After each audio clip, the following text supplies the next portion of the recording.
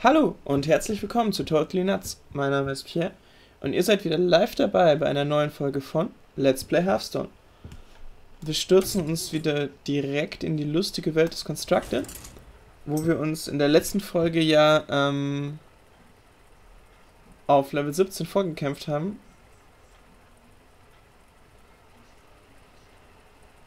Und schauen mal, ob wir hier, im Moment sind wir ja in der Siegessträhne, das heißt, für jeden Sieg, den wir jetzt kriegen, gibt es sogar noch einen Bonusstern. Und wir gucken jetzt einfach mal, ob wir ähm, das fortsetzen können. Ich werde ehrenhaft kämpfen. Eure Seele wird mir gehören. Oh, das ist jede Menge Gottesschild. Ich glaube, den Kommandant geben wir mal zurück. Die anderen sind alle ganz solide. okay. Ich grüße euch. Ich grüße Den Gruß geben wir natürlich gern zurück. Und dann legen wir doch direkt mal den ersten Diener mit Gottesschild auf den Tisch. Es gibt so eine Karte ähm, für drei Mana, die alle Gottesschilder zerstört und für jeden Schild 3 plus 3 plus 3 bekommt. Wir hoffen jetzt mal, dass er die nicht im Deck hat.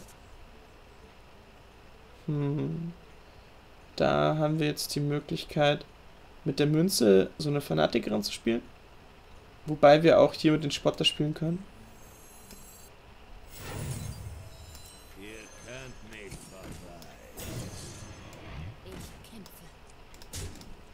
So. Was uns ja erstmal ganz gegen den 1-1 ganz gut absichert.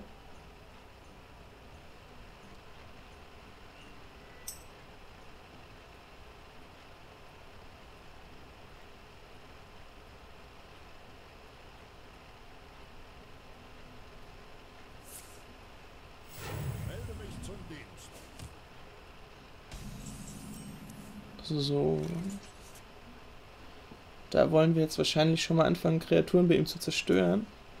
Wobei wir wieder aufpassen müssen, weil ja nächste Runde wieder die Weihe ansteht.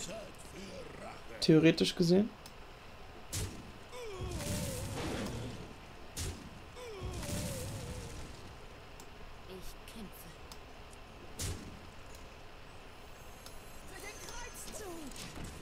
So, jetzt schauen wir mal.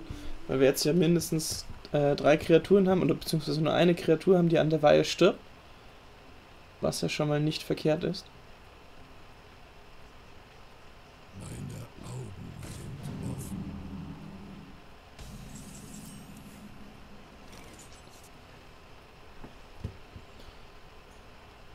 Und da habe ich jetzt auch keine Skrupel. Uns an, widersteht.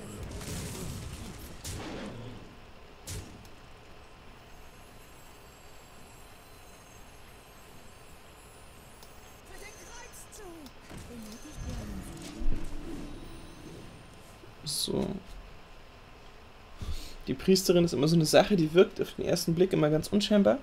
Aber wenn man es schafft, sie ein paar Züge lang auf dem Feld zu haben, na jetzt, dass wir das natürlich nicht gemacht haben.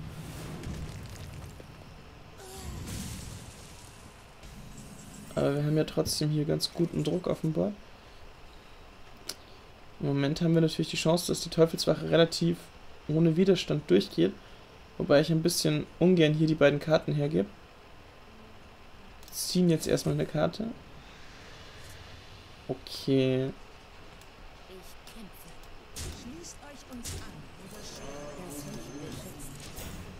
Da legen wir jetzt einfach mal alles aufs Board.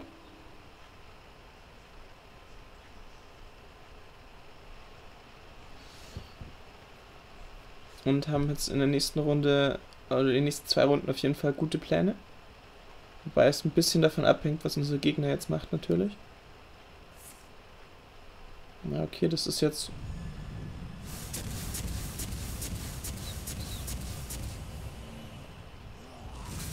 Das war jetzt ganz gut für ihn auf jeden Fall. Wobei wir hier natürlich das gute Follow-up haben.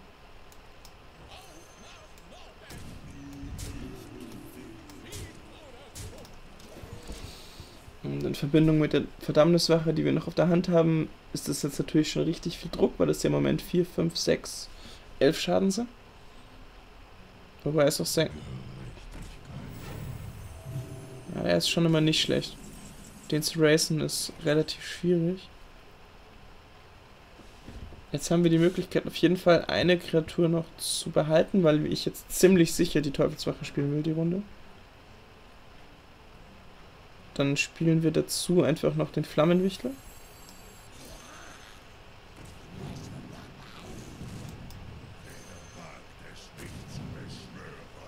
Und jetzt haben wir 5, 9, immer noch 11 Schaden. Das heißt, wir können ihn in zwei Runden töten. Und ich glaube, das ist auch der beste Plan.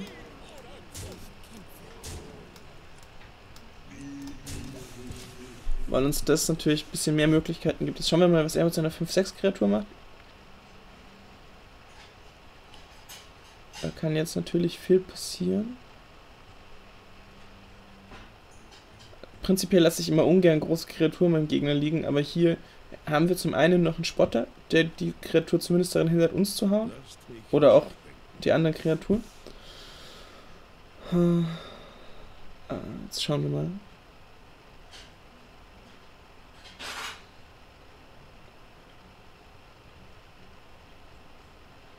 Also die Tatsache, dass es so lange dauert, sagt uns ja zumindest, dass es kein offensichtliches Play gibt beim Gegner.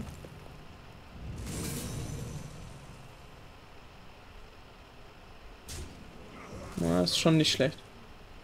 Jetzt hat die Weihe ja doch einiges kaputt gemacht bei uns. Geht auf jeden Fall auf 8.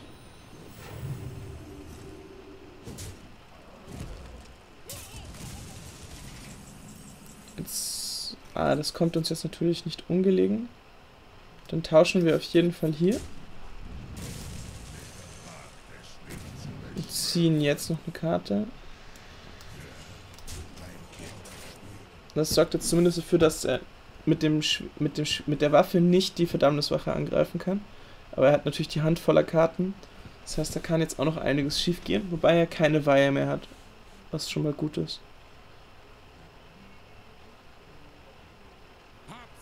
Oh.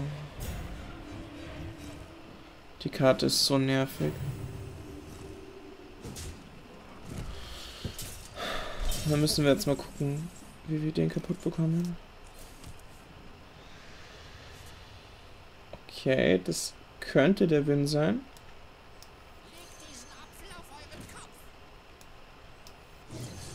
Wenn er jetzt... Na, okay. Das reicht jetzt leider nicht so ganz. Wenn jetzt der ähm, Messerjongleur auf ihn geschossen hätte, hätten wir natürlich gewonnen.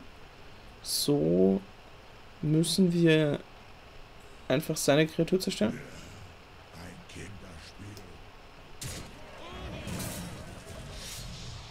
Und hoffen, dass er keine Möglichkeit findet, uns mit dem Messer und so zu töten.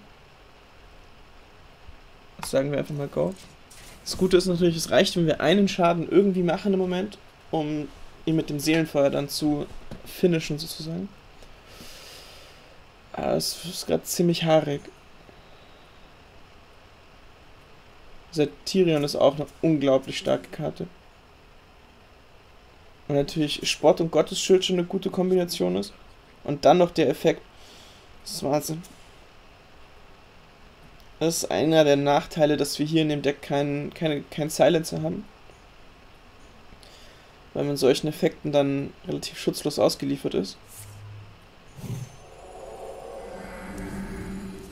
Ja, das rettet ihn jetzt erstmal noch nicht. Wobei wir davon ausgehen müssen, dass er noch was kaputt macht bei uns mit seiner Waffe. Bevorzugt wahrscheinlich den Terrorwolf Alpha.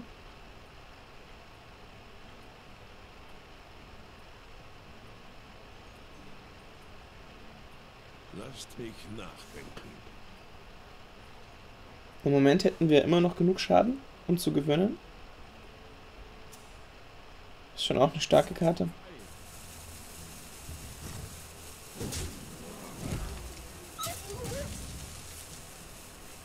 Ah, sehr schön. Das reicht genau. Da haben wir zwölf Schaden. Und er hat nur elf Leben.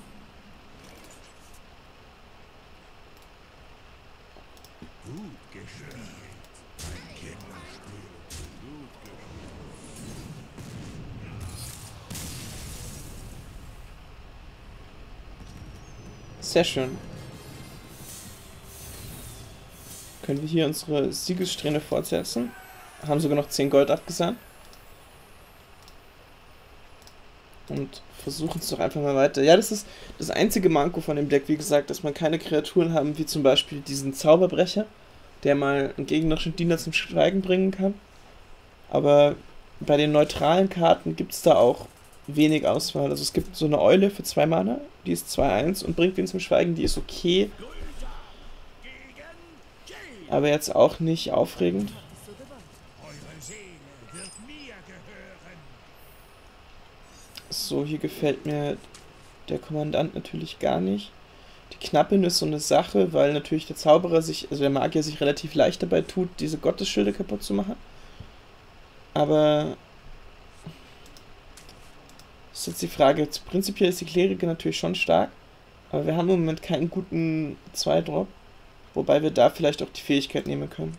Wir lassen das mal so.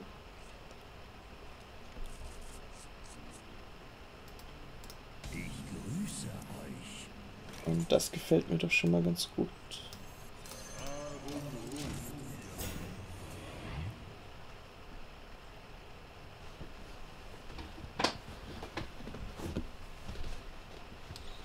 Das Magier-Matchup kann teilweise relativ schwierig sein, weil der Magier ab Turn, ja, so ab Turn 6 eigentlich, immer schon viele Spells hat, die Kreaturen bei uns kaputt machen. Mehrere auf einmal, zum Beispiel den Blizzard, der ja allen zwei Schaden zufügt, oder sogar den Flammenstoß, der ja allen von uns vier Schaden zufügt. Und sich davon zu erholen, ist immer ziemlich schwierig. Die Karte ist auch richtig gut im Magier-Deck, weil jetzt zum Beispiel auch die Münze sogar als Zauber wirkt. Deswegen die Magier auch immer gerne ähm, on the draw sind.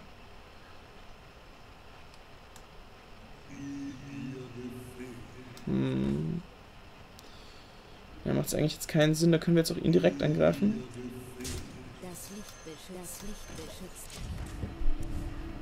Dann haben wir in der nächsten Runde immer noch die Möglichkeit, irgendwie seinen Wurm zu zerstören, je nachdem, was er jetzt mit seiner Münze anstellt.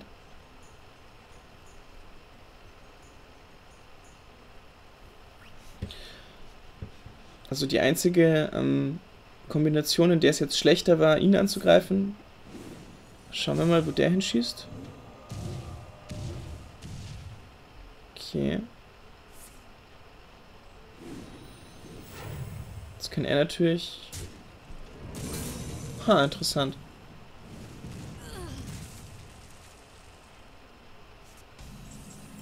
Das hätte ich jetzt, glaube ich, an seiner Stelle anders gespielt, weil er natürlich auch mit dem Ping einfach den, na, den Leerwandler hätte zerstören können.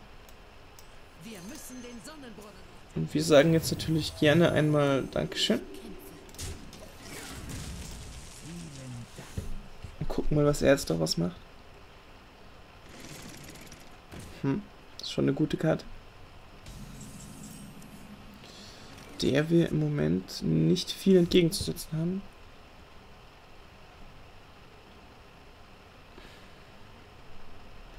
Also wahrscheinlich wollen wir hier tauschen, weil wir ansonsten einfach das Problem haben, dass er mit dem 2-3er dann unseren 2-2er ist und wir dann ja immer noch seine Kreatur zerstören müssen. Richtig toll ist das aber nicht.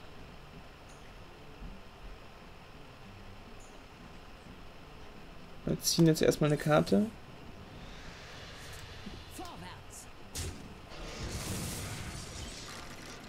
Wir müssen hier jetzt versuchen, unseren Messer-Jongleur zu beschützen.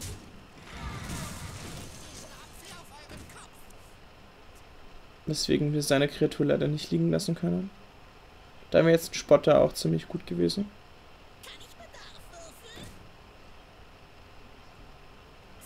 Na, schade.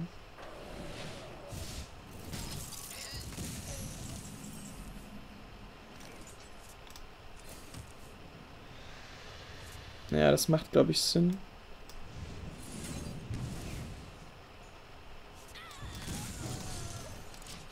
Na, es hat jetzt ganz gut funktioniert. Das konnten wir durch die weltlichen Ängste unserer Mana doch noch ganz gut nützen in dem Zug.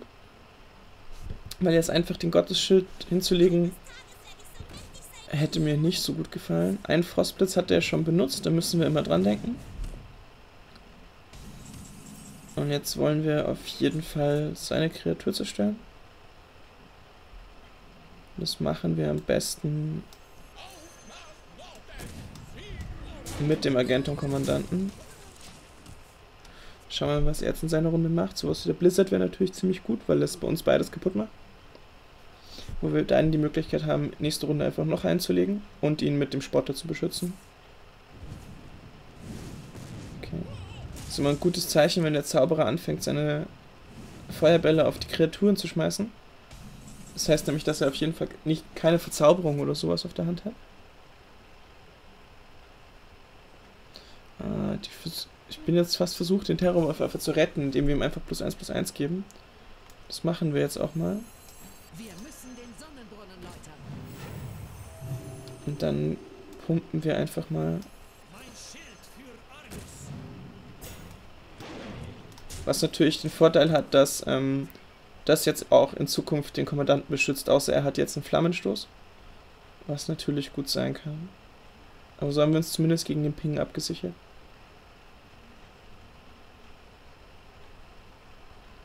Hm. Da kann man manchmal nichts machen.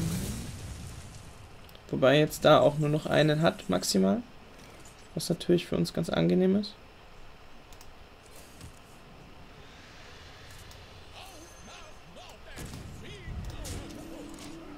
Jetzt schauen wir mal, ob wir ihn jetzt in den nächsten paar Zügen mit der Verdammniswache und unseren anderen Kreaturen in Bedrängnis bringen können.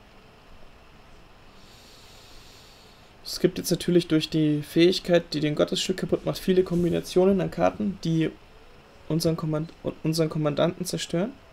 Ich frage mich, ob Jetzt schauen wir mal. Einen Frostblitz hat er schon benutzt, einen Feuerball und einen Flammenstoß.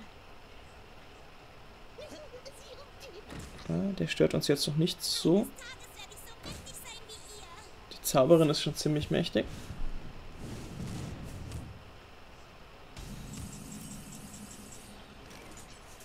Okay. Die Zauberin wollen wir halt auf keinen Fall leben lassen, weil die wirklich gut ist. Wir könnten jetzt natürlich eine Karte ziehen. Das Höllenfeuer auf die Zauberin casten.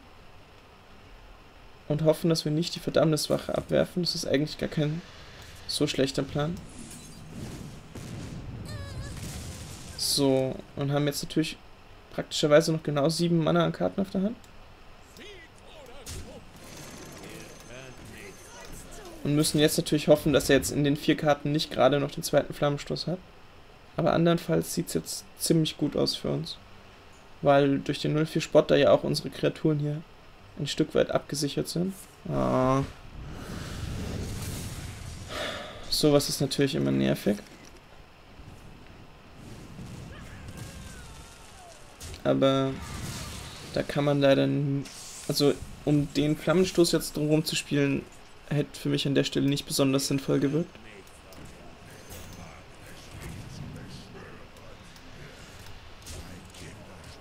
So, wobei wir ja auch jetzt hier ein gutes Follow-up hatten und er jetzt keine Flammenstöße mehr hat.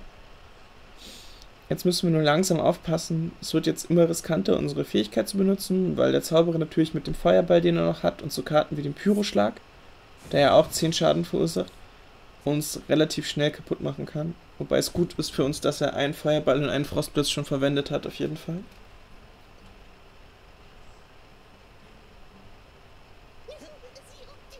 Und so Sachen wie die Lepraklombe sind ja auch immer mindestens zwei Schaden. Hm. Da kann es jetzt sein, dass er noch einen Frostblitz auf der Hand hat. Aber sehe wenig Möglichkeiten, da drum rumzuspielen gerade. Wobei wir jetzt auf jeden Fall nicht die Karte ziehen.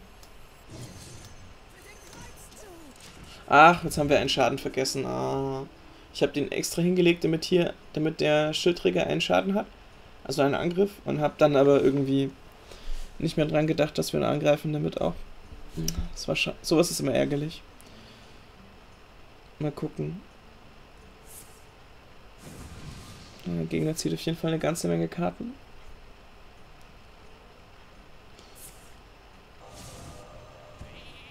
Ja, das ist schon mal nicht schlecht für ihn.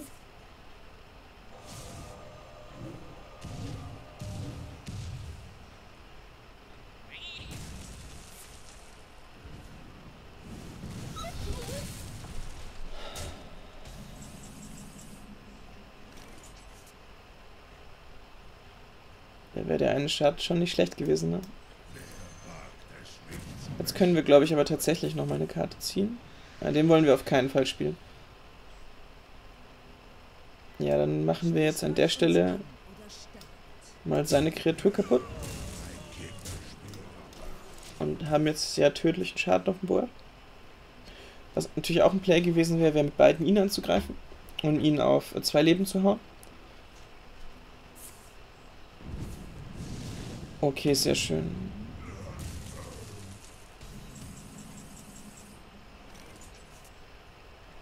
Jetzt haben wir den ersten Pyroschlag schon mal weg. Jetzt dürfen wir leider keine Karte mehr ziehen und auch den hier nicht auslegen, um unter 10 Leben zu gehen. Nicht so toll ist, wobei er jetzt leider unseren 3-1er handeln kann. Und wir die meisten unserer Diener mit Ansturm ja schon gespielt haben. Oh, oh, das... Das ist auch eine ganze Menge Schaden, der da liegt. Okay, jetzt haben wir natürlich nicht mehr viele Möglichkeiten. Ich glaube, jetzt müssen wir versuchen, einfach ihn direkt zu töten. Also ziehen wir erstmal eine Karte.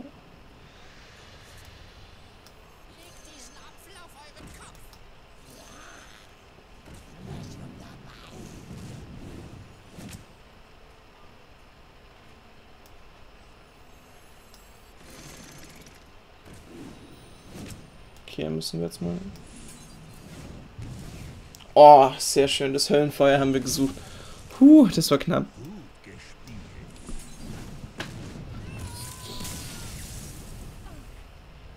Es war jetzt natürlich ein bisschen riskant, weil einen Feuerball hat er ja noch im Deck. Aber ich habe jetzt keine Möglichkeit gesehen, gegen die 8 Schaden, die auf dem Board sind, jetzt uns zu gewinnen. Aber manchmal zahlt es sich auch aus, auf Risiko zu spielen. Okay, super. Puh. Mit dieser Aufregung beenden wir jetzt mal diese Folge. Ich hoffe, euch hat es gefallen und schaltet doch wieder ein, wenn es wieder heißt Let's Play Hearthstone.